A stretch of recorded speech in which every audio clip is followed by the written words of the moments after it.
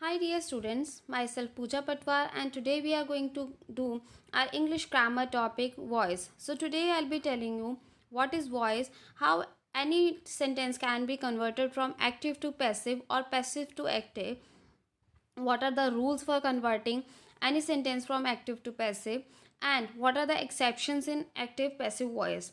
So let us start learning. First of all, let's talk about the definition of voice. It's a of verb that tells us whether this action is done by subject itself or it faces the result of action done by others. तो एक form of verb है जो हमें ये बताती है कि जो एक्शन है, वो सब्जेक्ट ने खुद किया है या किसी और के एक्शन का रिज़ल्ट फेस कर रहा है। तो ये कई बार जो इसमें सब्जेक्ट होता है, वो एक्शन डायरेक्टली किया जाता है उस सब्जेक्ट के द्वारा या इनडायरेक्टली किया जाता है।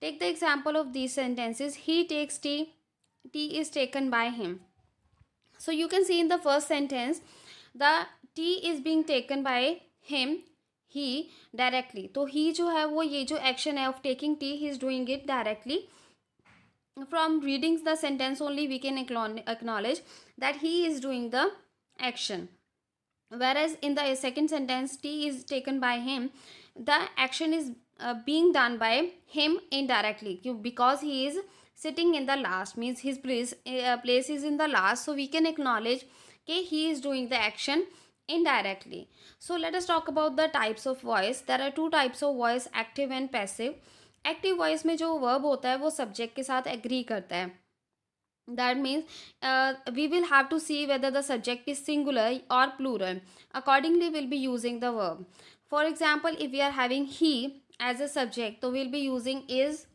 was और has in the same way if our subject is plural like they तो जो हमारी verb है that will be used accordingly like uh, were are and have so we will have to see whether the subject is singular or plural for using the verb and here the subject is active that means he does the uh, action actively or uh, does the action directly. In the passive voice the verb agrees the object. तो हम जब passive voice होती है उसमें हम जो object है उसको देखते हैं verb form of verb use करने के लिए।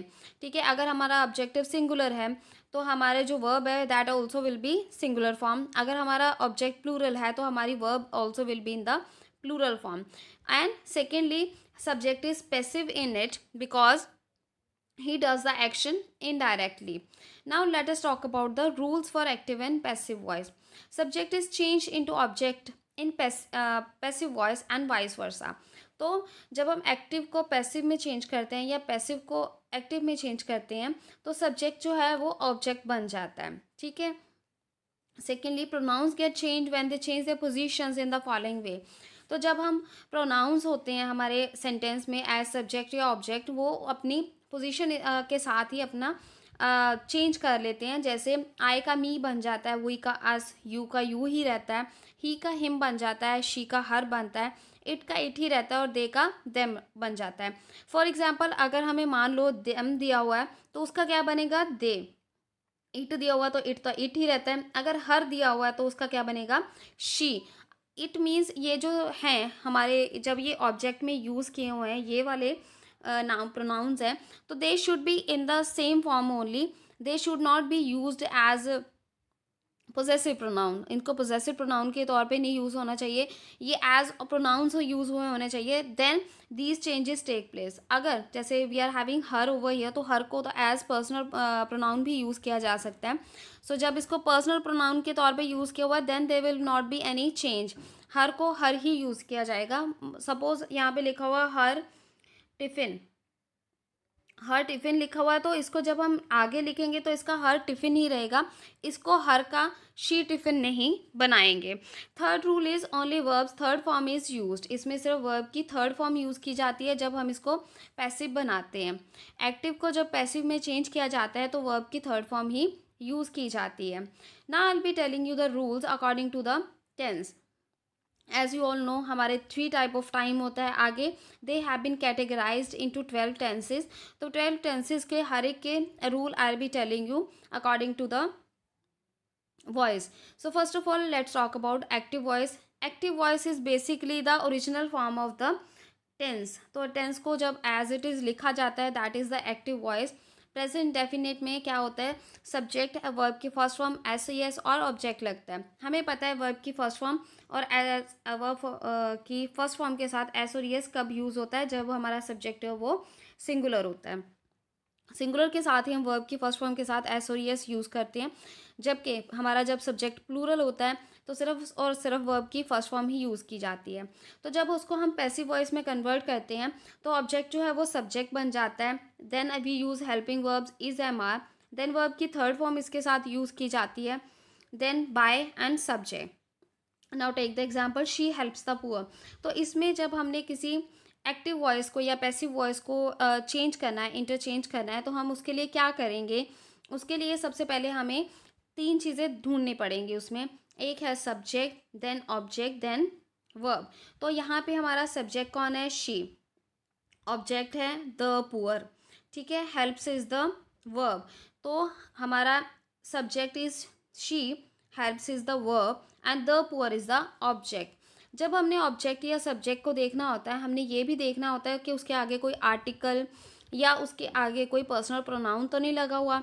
अगर लगा हुआ है तो हम उसको एज इट इज़ ही यूज़ करते हैं। ना हुआ यू कैन सी पुअर के आगे द लगा हुआ है। We have use an article over here so article को हम एज इट इज़ ही उठा के लेके आएँगे साथ में। The poor are be sorry the poor are help by her okay so let us talk about past indefinite tense past indefinite tense active voice का rule होता है subject verb second form object जब हम इसको passive voice में change करेंगे, तब हम इसे कैसे चेंज करेंगे? ऑब्जेक्ट वॉज़ और वर्ब वर्ब की third form by and subject यहाँ पे only one change is there कि यहाँ पे वॉज़ और वर यूज़ हुआ है, जबकि हमारे प्रेजेंट इंडेफिनेट में यहाँ पे इज़ एम आर का यूज़ हुआ था। Now see the example they played football in the evening so they is the subject played is the verb football is the object in the evening is the time when the action took place so इसको हम as it is last में use करते होते हैं। सो so, यहाँ पे हमारा object क्या है? Football football was played by them played is the second form second form के जब हम थर्ड uh, फॉर्म में कन्वर्ट करेंगे उसके साथ हम वॉज़ का यूज़ करेंगे। Then our sentence will be played was sorry football was played by them in the evening now let is talk about future indefinite active voice में उसकी construction में होता है सब्जेक्ट विल शेल वर्ब की first form जब इसका हम passive voice बनाएँगे then will be using object will shall be verb third form by and subject ठीक है? तो यहाँ पे सिर्फ़ एक चीज़ आएगी, एक तो बी यूज़ हुआ है देन वर्ब की third form by and subject we will take lunch now तो what is the subject we will take is verb lunch is object now is the time. Now will be used in the last only. Uh, so the passive voice uh, tense will be. Lunch will be taken by us. Or you can write here will also in place of shall. Lunch will be taken by us. Now yeah lunch shall be taken by us now next is present continuous continuous के लिए continuous हमारे जब tense uh, होता है तो उसमें क्या होता है? वर्ब की फ़र्स्ट फॉर्म के साथ आई एन जी यूज़ किया होता है। तो जब हमने इसको पैसिव वॉइस में कन्वर्ट करना होता है तो हम वर्ब की first form I N G उसकी आई एन जी को हटाने के लिए यहाँ पे बींग लगाते हैं। हर कॉन्टीन्यूस टेंस में जब आप उसको पैसिव में कन्वर्ट करोगे तो उसके साथ बीइंग आएगा ही आएगा। ठीक है? तो let us see the active voice construction first of all subject is am are verbs, first form, I N G, then object. जब इसको पैसिव में कन्वर्ट करेंगे, object is am are being verb, third form, subject and by and subject. Example she is singing a beautiful song so she is a subject is singing is verb a beautiful song is the object this time is the time so its construction will be passive voice में कैसे conversion करेंगे? A beautiful song is being sung by her this time now future sorry past continuous tense past continuous tense में was were use होता है verb की first form के साथ आई N जी use की जाती है। जब इसको हम कन्वर्ट करेंगे पैसिव वॉइस में तो अगेन क्योंकि कॉन्टीन्यूस है कॉन्टीन्यूस में हम बींग का यूज़ करते हैं। So they will be object plus was और verb being plus verb third form by plus subject example the teacher was reading newspaper so was reading is the verb the teacher is the subject newspaper is the object so newspaper we was being read by the teacher now future continuous tense future continuous tense में होता है subject will shall be verbs first form I N G object जब हम इसको convert करेंगे तो आ जाएगा object will shall be G की जगह being verbs third form by and subject now you will have to keep this thing in your mind कि जब हमारी, वो यूज़ होता है, जब बींग यूज़ होता है तो वर्ब की थर्ड फॉर्म उसी वर्ब की लगती है। उसी वर्ब की थर्ड फॉर्म बनाई जाती है, जिसके साथ जी लगा होता है। Example they will be playing chess this time ठीक है? Chess will be being played हमने किसका बनाया? जिसके साथ आई एन जी लगा हुआ था, उसी वर्ब की हमने थर्ड फॉर्म यूज़ की है। Chess will be being played by them this time now let us talk about perfect tense perfect tense जिसमें कि हैज़ हैव और हैड का यूज़ किया जाता है। तो जब हम इसको पैसिव वॉइस में कन्वर्ट करते हैं तो उनके साथ हम बीन का यूज़ करते हैं। ठीक है? तो जहाँ पे भी हैज़ अब या हैड यूज़ होएगा, उसके साथ बीन तो आएगा ही आएगा जब हम उसको पैसिव में कन्वर्ट करेंगे। जैसे subject has a verbs third form object जब हम इसको कन्वर्ट करेंगे object has have been verbs third form by and subject example children have taken the breakfast their breakfast has been taken by children ठीक है? Next is past perfect past perfect again you can see यहाँ पे had use हुआ है तो had में हम साथ में लगाएँगे been I had written a poem a poem had been written by me I का चेंज हो गया मी में. Now let us talk about future perfect future perfect में will shall have verb third form object now we will convert it to passive voice using object will shall have been verbs third form by plus subject plus full stop. Example, she will have completed her homework. Her homework will have been completed by her. ठीक है so पहले हमने subject she will have completed is verb her homework is the object so her homework will have been completed by her next is present perfect continuous present perfect again continuous में बच्चे और कोई change नहीं आएगा यहाँ पे। सिर्फ़ verb की फ़र्स्ट फॉर्म आई की जगह बीइंग आ गया और साथ में वर्ब की थर्ड फॉर्म आएगी। ठीक है? बाकी एज इट इज़ ही रहता है। जैसे, Rudra has been watching T V since morning अब T V is the object since morning is the time time को हम सबसे लास्ट में लिखेंगे।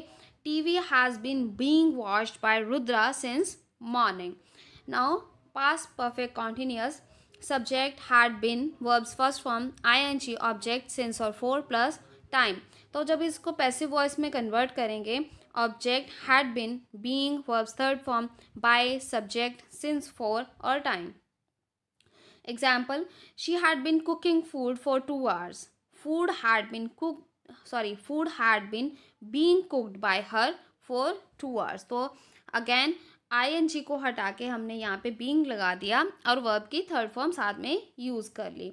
Now we be talk about future perfect continuous tense future perfect continuous tense में भी same ही होता है।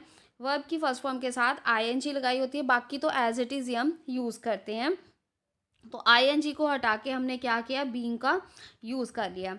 जैसे they will have been writing a novel for two months a novel will have been be written by them for two months. ठीक है? Now let us talk about voice related with modals जब modal mention किया हो कुछ भी, कोई भी sentence में एक्टिव वॉइस में तो उसको हम कैसे कन्वर्ट करेंगे? Object plus same modal plus be plus verbs third form by and subject for example Rudra can speak English so can is the modal over here तो हम इसको कैसे करेंगे? English can be spoken by Rudra next is you need not read this book no need not is the modal again the answer will be the book need not be read by you next is sentences with W H families तो जब हमारे interrogative sentences हो, तब कैसे construct होता है? जैसे what are you doing here passive voice क्या होगी? What is being done by you here interrogative pronouns को हम कैसे चेंज करते हैं? हु को चेंज करते हैं? बाय होम में, ठीक है? Who stole your pencil by whom your pencil was stolen ठीक है? Whom is change into who whom को हम हु में चेंज करते हैं? हाउ मैनी को हम by how many some cases में वॉट को हम चेंज करते हैं? बाय वॉट में। बाकी के जो इंटेरोगेटिव प्रोनाउंस होते हैं, वो अनचेंज रहते हैं मतलब उनमें कोई चेंज नहीं आता। Some more examples of active and passive voice. जैसे how many people attended the party? By how many people was the party attended? What brings you here? By what are you brought here? Next that is the last rule rule number 4 structure. Sometimes we are given the sentence like it is time for taking tea. Yeah it is time to close the door या it it is time to shut the door या it is time to close the shop सो उसको हम कैसे करते हैं उसको हम it is time to की जगह इट इज़ टाइम फोर लगा देते हैं सब्जेक्ट का हम जो ऑब्जेक्ट होता है उसको हम सब्जेक्ट बना देते हैं उसके बाद to then be then verbs third form ठीक है example it is time to take tea तो उसका क्या बनेगा? It is time for tea to be taken या it is time to shut the door it is time for the door to be shut. So this is how the voice has to be done. I hope you have understood and liked this video. If you did please do tell me in the comments and like my video. If you didn't tell me what you were not able to understand so that i can uh, clear your doubts and uh, think over your queries. Please do tell me in the comments and thanks for watching. Thank you and have a nice day. Enjoy it day enjoy your day. Bye bye Take care.